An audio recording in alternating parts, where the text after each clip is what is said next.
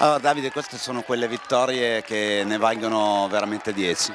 Sì, siamo, siamo contentissimi. Dopo, dopo, dopo, il brutto weekend di Padula abbiamo lasciato giù una partita e oggi riprendersi era importantissimo. Siamo andati sotto e Lorenzo ha fatto un turno incredibile, siamo tornati in partita e l'abbiamo portato a casa.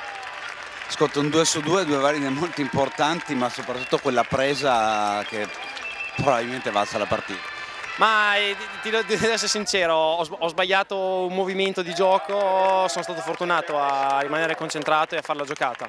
L'importante è che abbiamo vinto la partita, sono, sono contentissimo, questo è quello, quello che conta.